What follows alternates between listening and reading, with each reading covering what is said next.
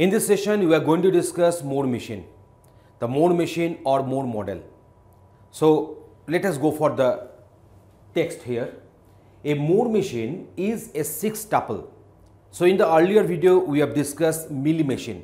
So, that machine was also having six tuples.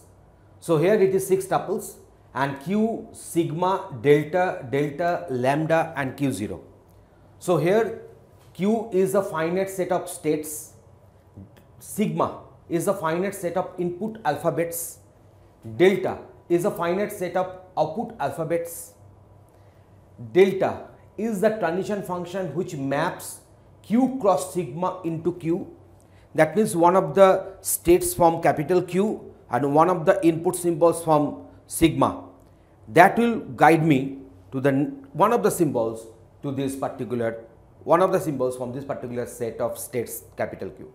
And this cross means actually we are doing all possible combinations. We are doing the Cartesian product between the set members of capital Q and set members of sigma. So, here you are considering all possible combinations of Q elements and sigma elements and they will be mapped to one of the members of this Q. Lambda is the output function mapping Q into sigma.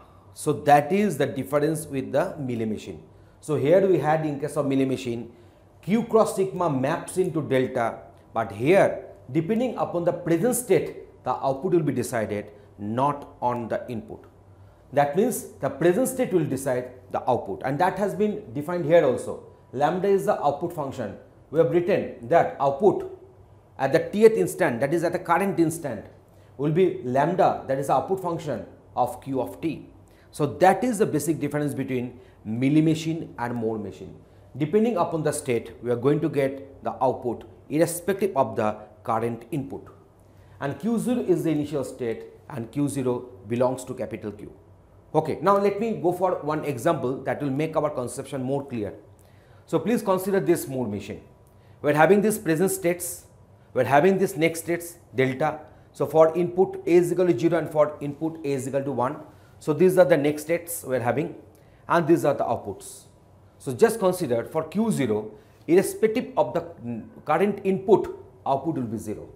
For Q1 irrespective of the current inputs output will be 1 and that is the basic thing in case of Moore machine. So, now Q is a finite set of states. So, it is consisting of these states. Sigma is the finite uh, set of input symbols. So, it is having this one and then we are having this delta that is the output symbols. This is my delta for the transitions.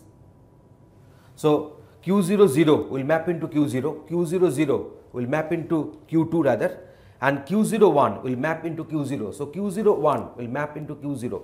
So, in this way I could have de declared for the rest 6 delta. So, this is the delta function and that is my lambda function. So, lambda function means it will decide the output.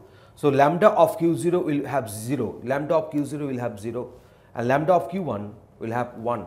So, in this way I could have declared the other two and Q0 is the initial state, it has been marked as initial state which belongs to capital Q, yes it belongs to capital Q.